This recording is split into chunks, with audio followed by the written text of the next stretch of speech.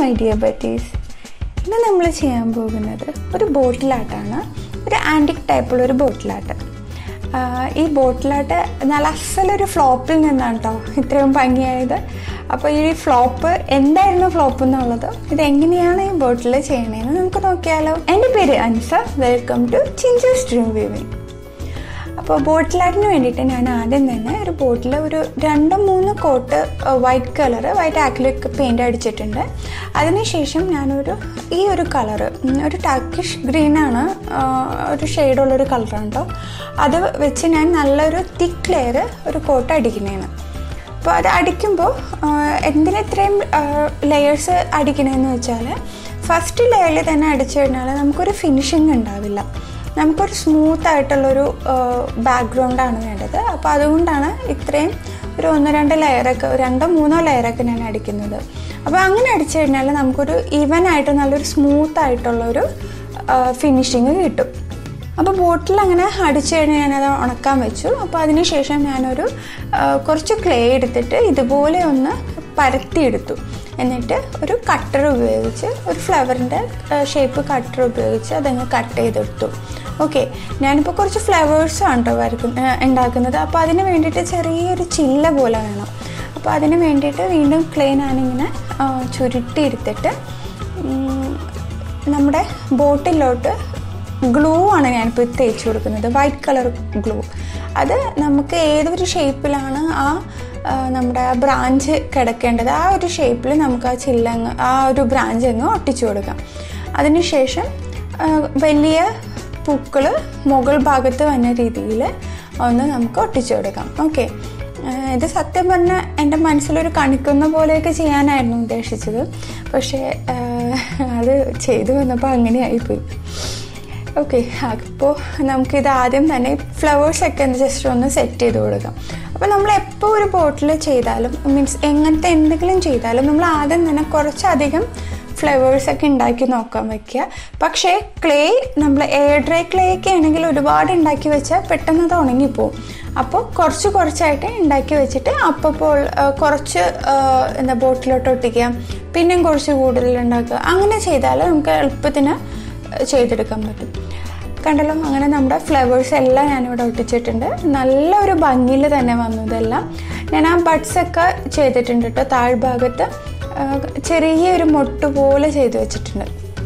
Okay അപ്പോൾ ഇത് സത്യം പറഞ്ഞാൽ ഈ ഒരു കളർ തന്നെയാണ് ഏറ്റവും ഭംഗി. ഞാൻ പക്ഷെ ഞാൻ പറഞ്ഞല്ലോ ഒരു കണിക്കുന്നയുടെ തീമിൽ ചെയ്യാമെന്ന് ഓർത്തിട്ട് ഞാൻ ഒരു യെല്ലോ ഷെയ്ഡ് അടിച്ചു കൊടുക്കുന്നുണ്ട്.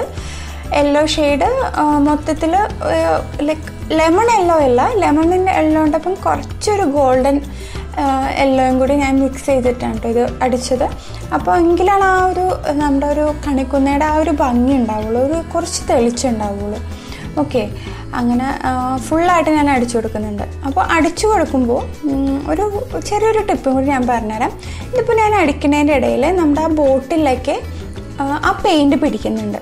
ആ ഇടയിൽ പിടിക്കുന്നുണ്ട്.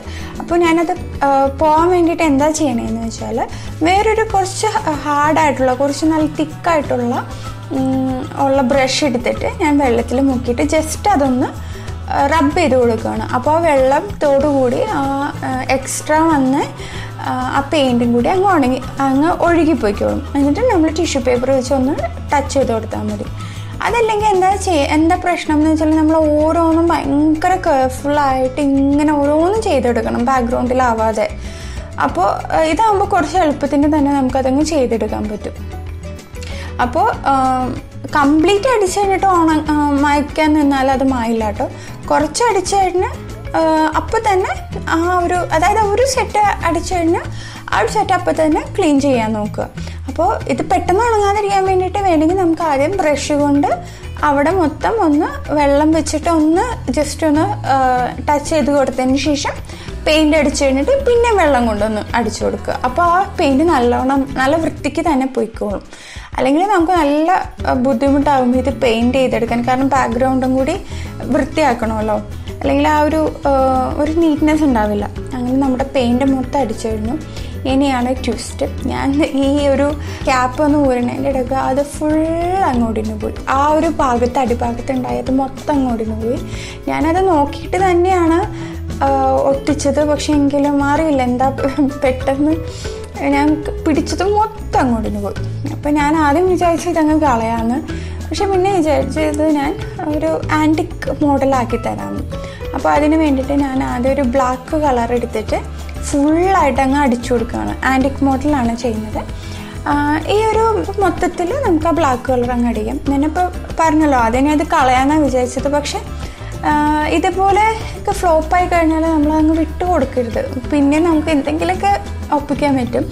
ഏറ്റവും ഈസിയസ്റ്റ് മെത്തേഡ് എന്ന് വെച്ചാൽ മോശമില്ലാത്ത രീതിയിൽ ചെയ്യാൻ പറ്റുന്ന ഒരു മെത്തേഡ് എന്ന് പറഞ്ഞാൽ ആന്റിക് ടൈപ്പാണ് കേട്ടോ അപ്പോൾ ആന്റിക് എന്തൊക്കെ മോശമായാലും നമുക്ക് ഏറ്റവും അവസാനം ആന്റിക് മോഡലാക്കി കഴിഞ്ഞാൽ നല്ല ഭംഗി ഉണ്ടാവും കാണാൻ. അങ്ങനെ ബ്ലാക്ക് മൊത്തം അടിച്ചതിന് ശേഷം ഞാനൊരു ഗോൾഡൻ കളർ വെച്ചിട്ട് ജസ്റ്റ് ഒന്ന് ടാപ്പ് ചെയ്യണം. ഫ്ലേവേഴ്സിലൊക്കെ ഞാൻ ബ്രഷ് കൊണ്ടാണ് ജസ്റ്റ് ഒന്ന് അടിച്ചു കൊടുക്കുന്നത്. അതല്ല ബാക്ക്ഗ്രൗണ്ടൊക്കെ ഇതുപോലത്തെ ഒരു സ്പഞ്ച് ഉപയോഗിച്ച് ഞാൻ ജസ്റ്റ് ഒന്ന് ടാപ്പ് ചെയ്ത് കൊടുക്കുകയാണ്. ഫ്ലവേഴ്സിൽ നമ്മൾ സ്പഞ്ച് ഉപയോഗിച്ച് കഴിഞ്ഞാൽ ക്ലേ ആയതുകൊണ്ട് തന്നെ പൊട്ടിപ്പോകാനുള്ള സാധ്യതയുണ്ട് കേട്ടോ അപ്പോൾ അതുകൊണ്ട് ബാക്ക്ഗ്രൗണ്ട് മാത്രം ആ സ്പഞ്ച് ഉപയോഗിച്ചാൽ മതി. ബ്രഷ് ഉപയോഗിക്കേണ്ട ബാക്ക്ഗ്രൗണ്ടിൽ കാരണം ബ്രഷിന്റെ ആ ഒരു പാട് വരും. ഇത് ഒന്ന് രണ്ട് ലെയറൊന്നും നമുക്ക് അടിക്ക് അടിച്ചാലും അത്രയും ഭംഗി ഉണ്ടാവില്ല. അപ്പോൾ അതുകൊണ്ടാണ് ഞാനവിടെ ബ്രഷ് ഉപയോഗിക്കാത്തത്. ഓക്കെ അങ്ങനെ നമ്മുടെ പെയിന്റിങ് ഓൾമോസ്റ്റ് കഴിഞ്ഞു. അപ്പോൾ ഞാൻ നോക്കുമ്പോൾ നമ്മുടെ ഫ്ലേവേഴ്സിന്റെ ആ നടുഭാഗം കുറച്ചൊരു എം ടി പോലെ തോന്നി.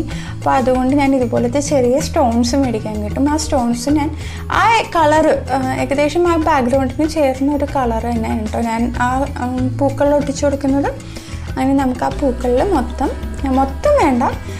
നമുക്ക് കുറച്ച് വലിപ്പമൊക്കെ തോന്നുന്ന പൂക്കൾ ആ സെന്റർ പോർഷൻ നല്ലോണം വിസിബിൾ ആക്കുന്ന ആ പൂക്കളൊന്ന് നമുക്കൊന്ന് ഒട്ടിച്ചു കൊടുക്കാം. അങ്ങനെ ഒരുമാതിരി എല്ലാം ഞാൻ ഒട്ടിച്ചു. അപ്പോൾ അതും കൂടി കഴിഞ്ഞപ്പോൾ നല്ലൊരു ഭംഗി വന്നു. ആ ഒരു ബോട്ടിലിന് ഞാൻ എന്താണോ ഉദ്ദേശിച്ചത് അതിന് നേരെ ഓപ്പോസിറ്റുള്ളൊരു ബോട്ടിൽ ആണ് കേട്ടോ എനിക്കത് കിട്ടിയത്. അപ്പോൾ ഫൈനലായിട്ട് ഞാൻ വാർണിഷും കൂടെ അടിച്ചു കൊടുക്കുകയാണ്. ഞാൻ പറഞ്ഞിട്ടുണ്ട് വാർണിഷ് എന്തായാലും മസ്റ്റാണ് കേട്ടോ പ്രത്യേകിച്ച് നമ്മൾ ആർക്കെങ്കിലും കൊടുക്കാനൊക്കെ മീൻസ് സെല്ലിന് വേണ്ടിയിട്ട് വെച്ചേക്കുന്നതാണെങ്കിൽ വാർണിഷ് മസ്റ്റായിട്ട് അടിക്കണം. അങ്ങനെ നമ്മുടെ ഫ്ലോപ്പായ ബോട്ടിൽ ഉയർത്തെഴുന്നേറ്റു കേട്ടോ അത് നല്ല ഭംഗിയിൽ തന്നെ വന്നിട്ടുണ്ട്. ഫ്ലോപ്പ് ഒരുപക്ഷെ ഫ്ലോപ്പായത് നന്നായി. കാരണം ഇത്രയും ഭംഗി ഉണ്ടാവില്ലായിരുന്നു ആ ഒരു ആദ്യത്തെ ഇത് ചെയ്ത് കഴിഞ്ഞാൽ ആ കളറും എല്ലാം ആ പൂക്കളും ആ ബഡും എല്ലാം നല്ല വൃത്തിക്ക് വന്നിട്ടുണ്ട്. ഓക്കെ അപ്പോൾ ഇതെന്തായാലും എല്ലാവരും ഒന്ന് ട്രൈ ചെയ്ത് നോക്കുക ഫ്ലോപ്പ് ആവാൻ വേണ്ടി കാത്തിരിക്കണ്ട. ആ യെല്ലോ കളർ അടിക്കുന്നതിന് മുമ്പ് തന്നെ ബ്ലാക്ക് അങ്ങ് അടിച്ചാൽ മതി. ഓക്കെ അപ്പോൾ ഈ വീഡിയോ എല്ലാവർക്കും ഇഷ്ടപ്പെട്ടിട്ടുണ്ടെന്നാണ് ഞാൻ കരുതുന്നത്. ഇഷ്ടപ്പെട്ട ഈ ചാനൽ എന്തായാലും ഒന്ന് സബ്സ്ക്രൈബ് ചെയ്യുക. വീഡിയോ ഒന്ന് ലൈക്കും കൂടി ചെയ്യുക. ഓക്കെ അപ്പോൾ ഇനി അടുത്തൊരു വീഡിയോയിലോട്ട് കണ്ടുവരികയും ബൈ